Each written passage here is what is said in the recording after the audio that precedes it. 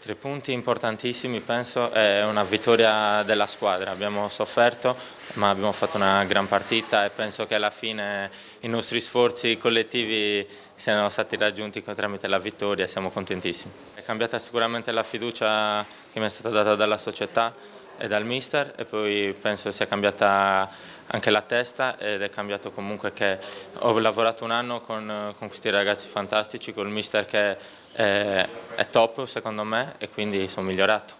Era una sosta meritata, sì, dopo questo tour de force un paio di giorni liberi ci stanno.